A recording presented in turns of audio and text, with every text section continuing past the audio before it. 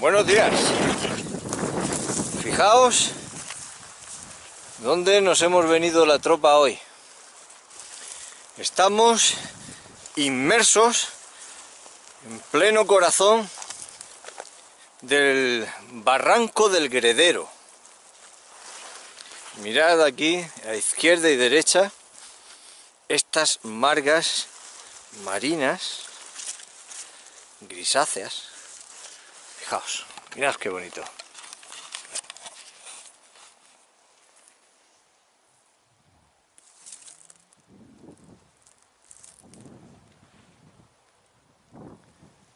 Aquí estamos.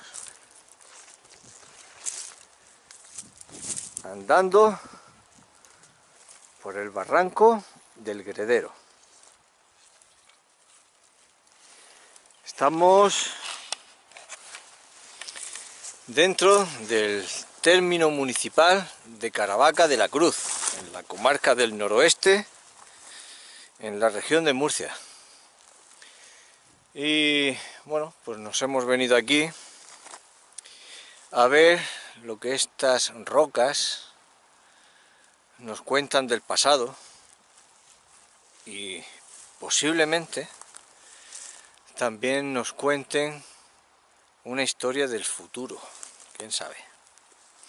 Estamos en un lugar de interés geológico, pero de importancia mundial. Y estamos aquí, lo tenemos, todos los murcianos, lo tenemos aquí en Caravaca. Y ahora, un poquito más adelante, os contaré por qué es un lugar de interés geológico de relevancia mundial. Vamos a continuar un poquito y ahora os sigo enseñando cosas. Hasta ahora. Mirad eh, por dónde vamos.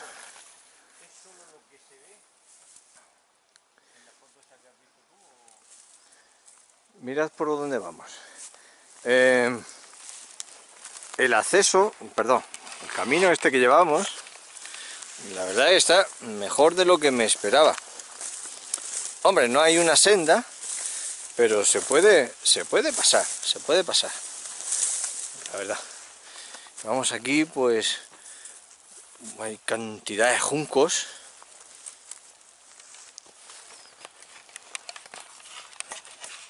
qué bonito.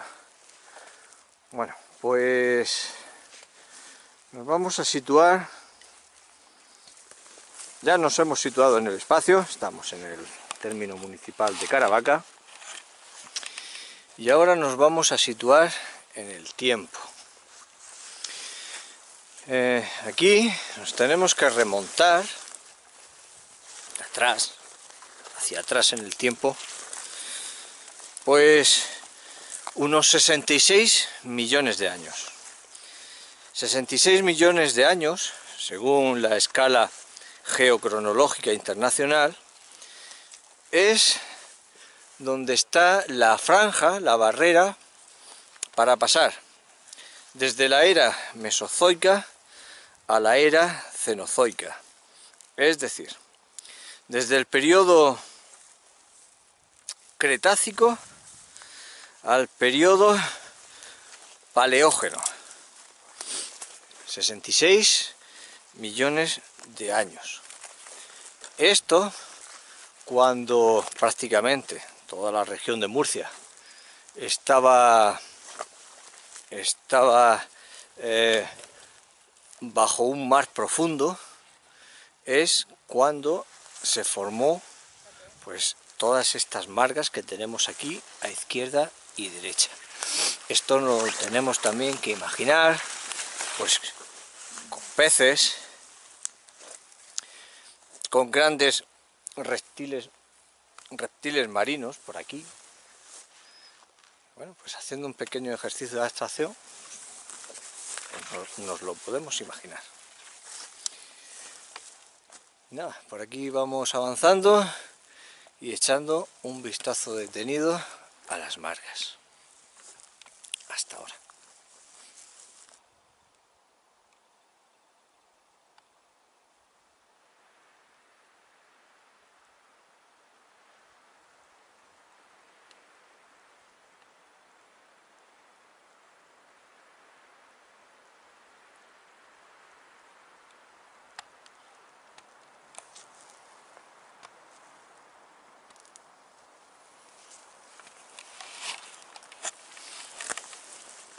Por aquí vamos. Vamos aguas abajo del barranco.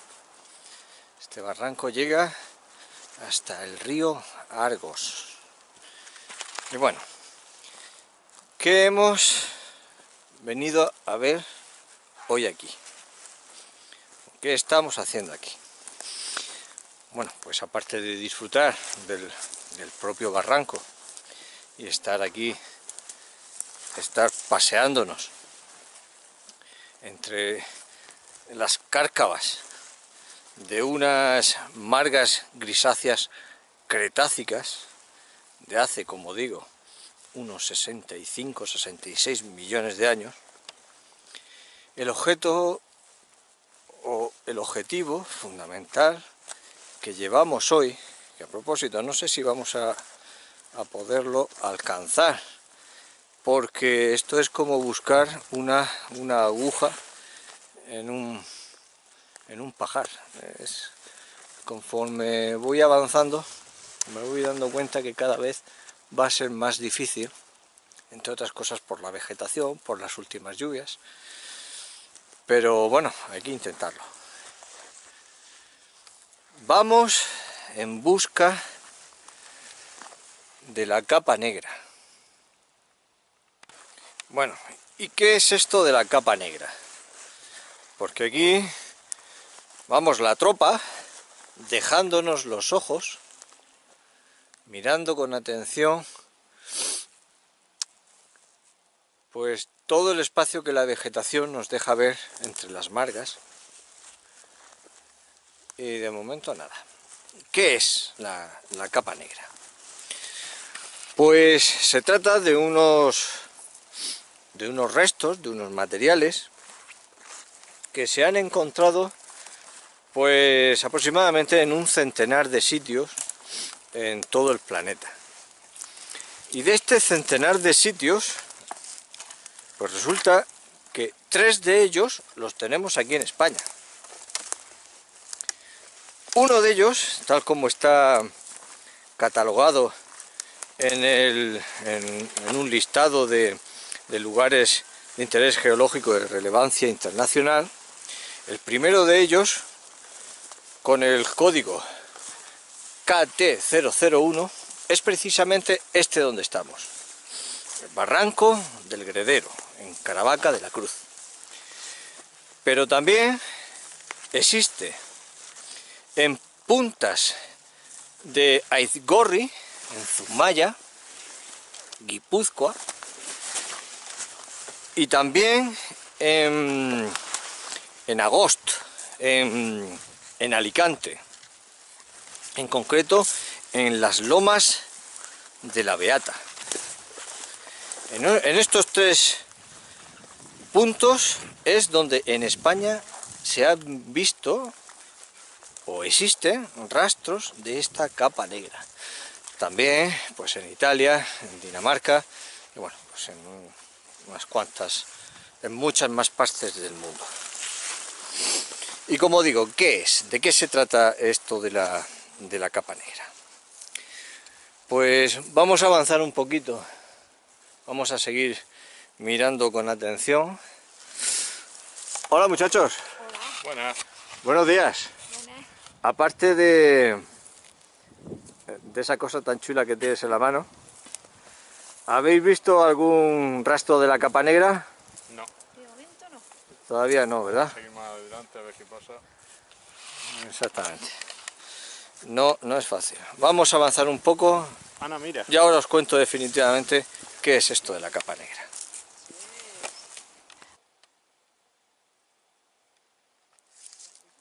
Fijaos los el carrizal que hay por aquí.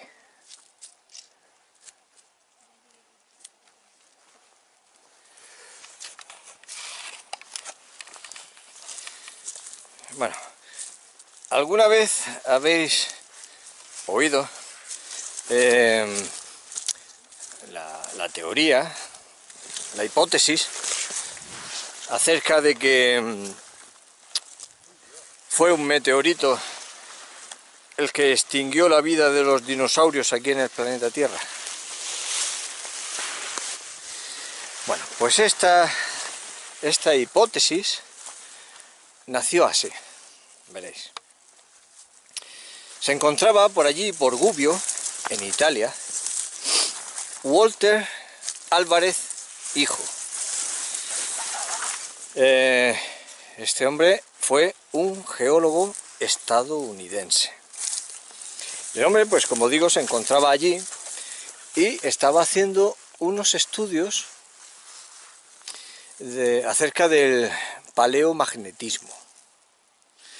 Y bueno, pues, pues haciendo allí el hombre pues sus excavaciones, sus cosas, pues se encontró una capa de color negro, eh, parecida, entiendo, o igual, a la que pretendemos encontrar hoy por aquí.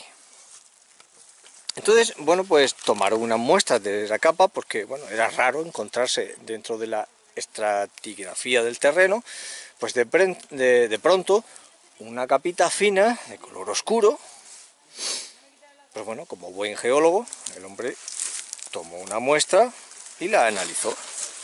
Bueno, pues se dieron cuenta que el contenido en iridio de aquellos materiales eran muy superiores y cuando digo muy superiores, me refiero a mil veces superior al contenido en iridio de cualquier material terrestre encontrado aquí en la Tierra.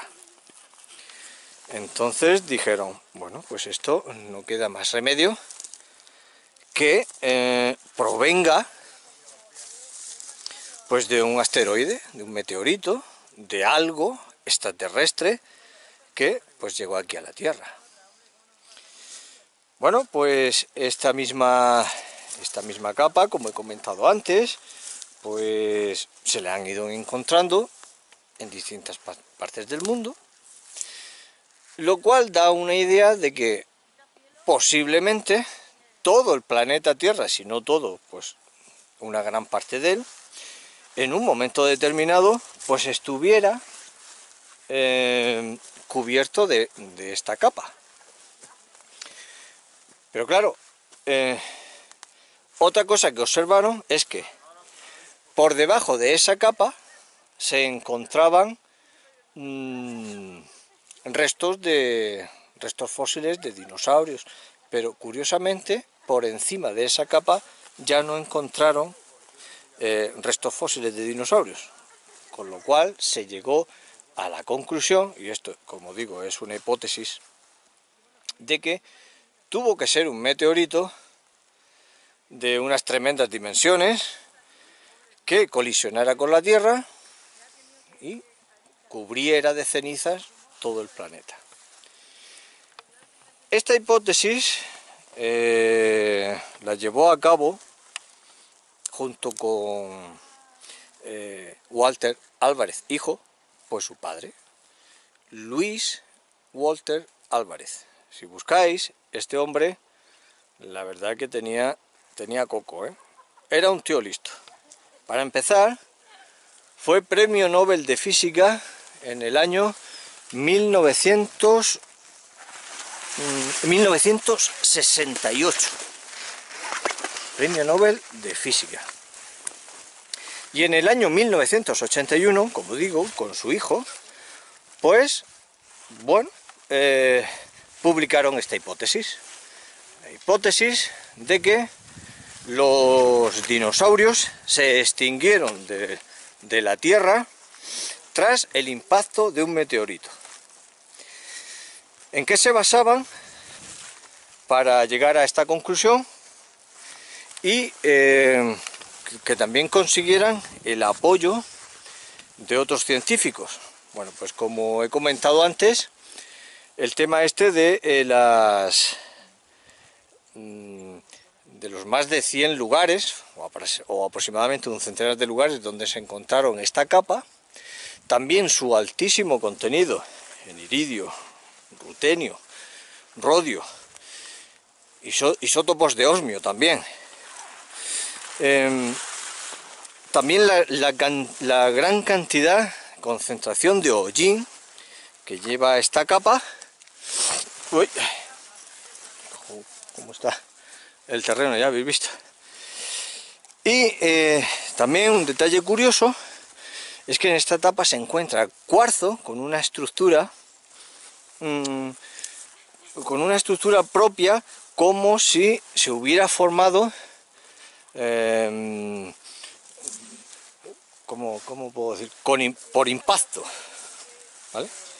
entonces bueno pues hay un montón de científicos en el mundo que apoyan esta hipótesis y, y a día de hoy pues se mantiene el problema es ahora encontrar dónde cayó el meteorito y ver si, porque tenía que ser de unas dimensiones pues, muy grandes para producir esto. Y nada, pues, pues ahora os cuento lo del, lo del meteorito. Hasta ahora.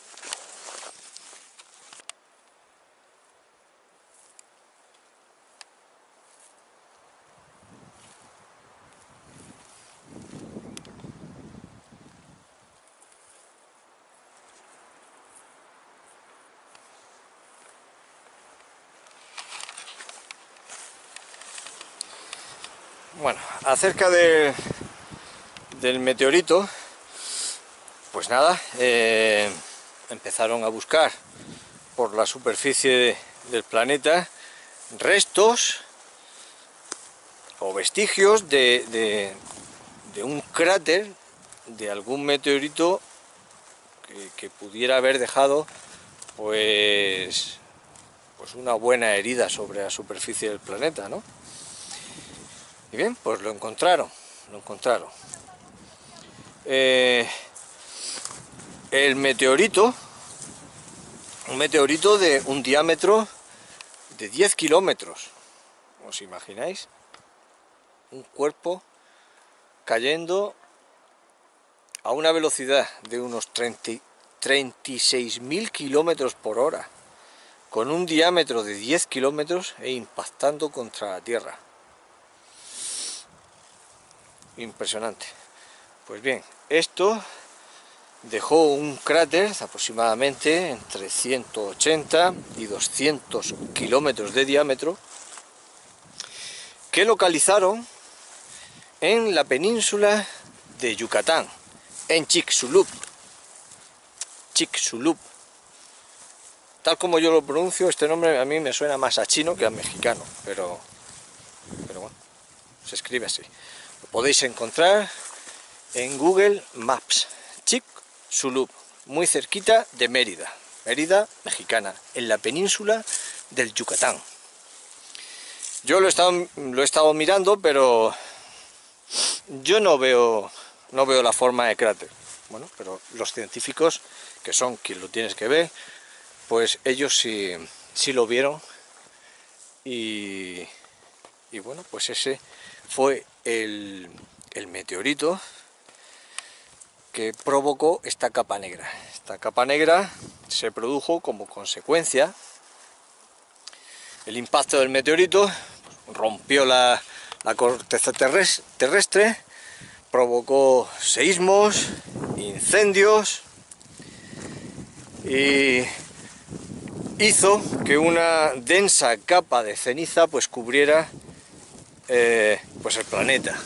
Una densa capa de ceniza, también vapor de agua.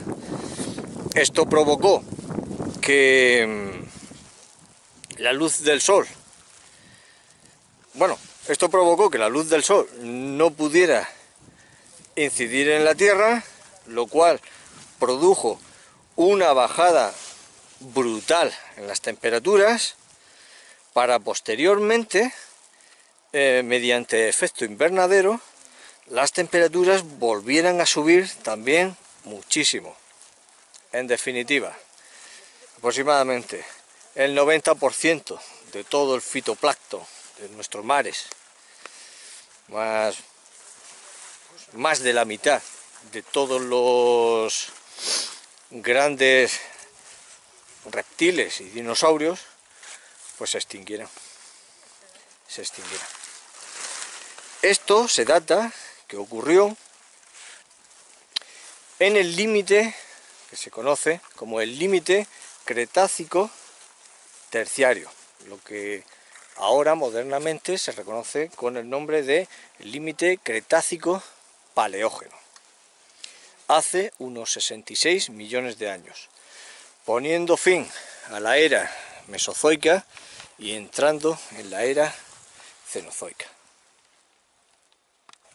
Y esta capa que nosotros vamos buscando, pues se supone que es restos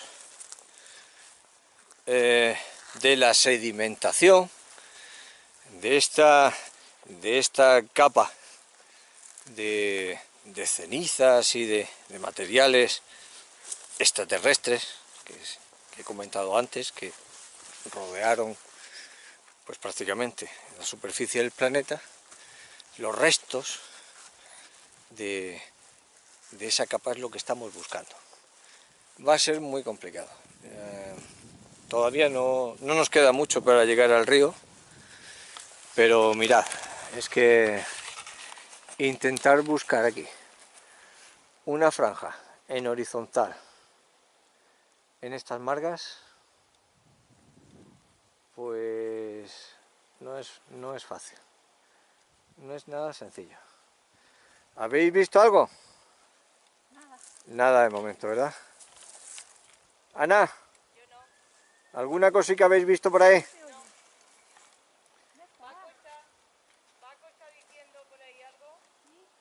A ver, mi hermano está dando voces, a ver si tuviéramos suerte de... Ya veremos. Aquí vemos entre intercalaciones en las margas, vemos, como digo, intercalaciones de areniscas, se denominan areniscas turbidíticas, formadas eh, formadas por sedimentación durante seísmos y grandes tormentas. Las vemos que están ahí ocluidas entre, entre las margas. Si ahora cuando vea alguna os la enseño más de cerca. Pero bueno, por aquí vamos.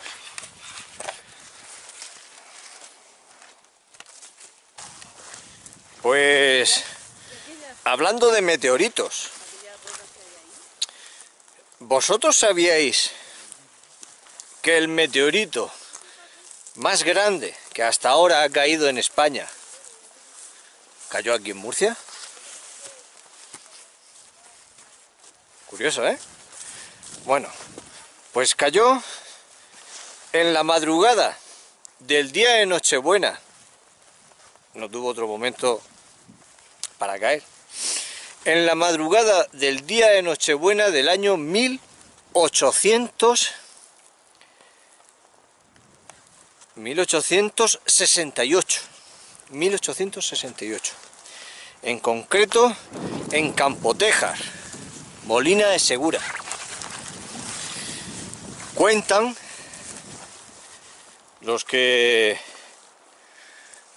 pues los que vivieron esa experiencia que bueno, hubo un estruendo fortísimo y, y un pequeño eh, movimiento de tierra después del impacto. Impresionante, impresionante. Eh, parece ser que se dividió en 16 trozos, eh, todos en conjunto pues pesaban unos 144 kilos y el trozo más grande que quedó pesaba unos, si no me equivoco, pues unos 112 kilos, o sea que, que, impresionante, vamos, impresionante, eso te pilla, bueno, impresionante. Pues ya está, aquí, en, en Molina de Segura. Actualmente está en, el, está en Madrid, fue en el año 1863, cuando la reina Isabel II lo donó al Museo de Ciencias Naturales de Madrid. Y bueno, pues ahí está. Yo no lo he visto, pero cuando vuelva otra vez por allí, por la capital, pues haré, haré, por, haré por verlo. Curioso, ¿verdad? Otra cosita más. continuamos, a ver si damos con la capa negra o no. A ver qué pasa.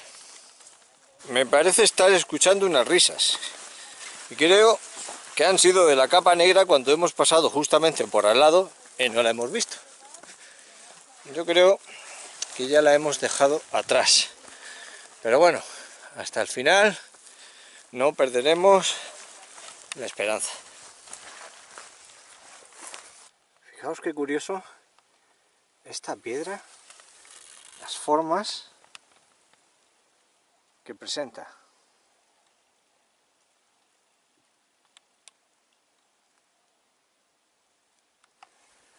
Aquí en redondo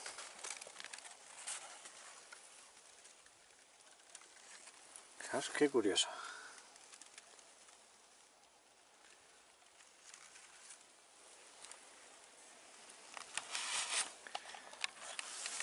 Eso si no me si no estoy equivocado son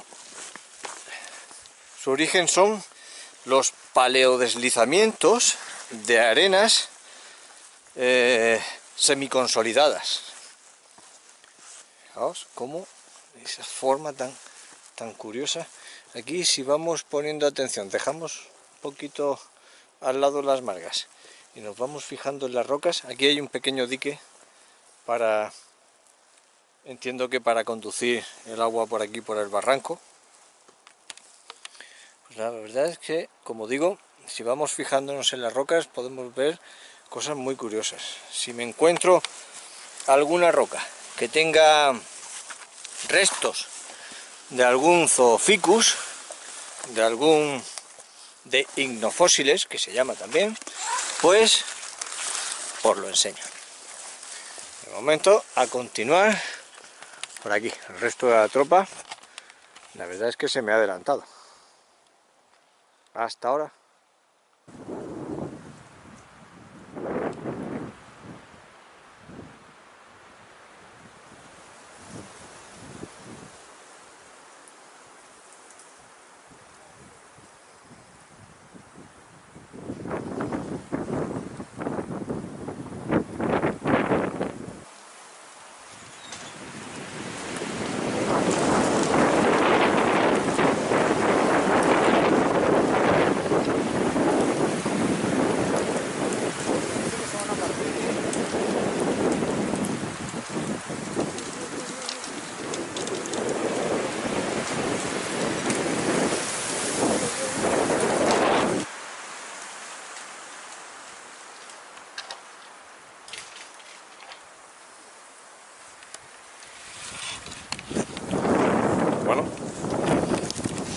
Fijaos cómo se está poniendo el tiempo.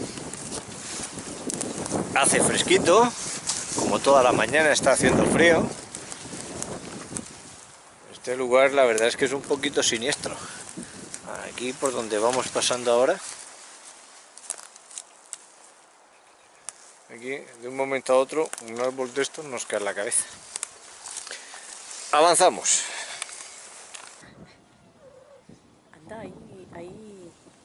Bueno, mirad dónde estamos. Este es... Voy a tapar un poquito los micrófonos. Esta es la desembocadura, desembocadura, por así decirlo, donde desagua el barranco del Gredero en el lamentable, lamentablemente, río Argos, pero como veis su cauce está absolutamente seco.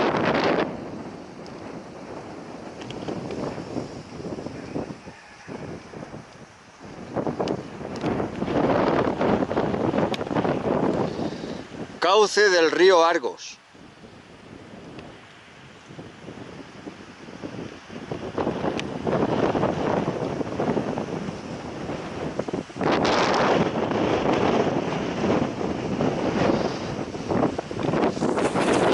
aquí está soplando el aire y además viene bastante frío. Bueno, pues nada, hemos llegado al final del barranco El Gredero. No hemos visto la capa negra, no la vamos a ver hoy.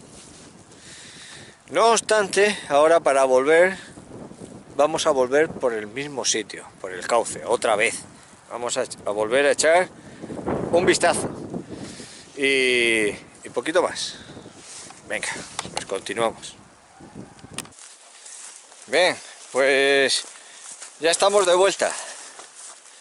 Nos hemos recorrido el barranco del Gredero de principio a fin. Ya estamos en el punto de, de partida. Desde aquí hemos ido hacia allá. Hemos llegado hasta el cauce del río Argos, que como habéis visto estaba absolutamente seco. Nada, como digo, ya estamos de vuelta. Y nada, no hemos podido encontrar, hoy no hemos podido encontrar la capa negra. Capa negra 1, la tropa 0. Nada, habrá que seguir perseverando hasta dar con ella, por lo menos que podamos ver un trocito. Bueno, pues desde aquí pongo punto final a la aventura de hoy. ¡Hasta luego! La capa negra. Hasta luego. La capa negra.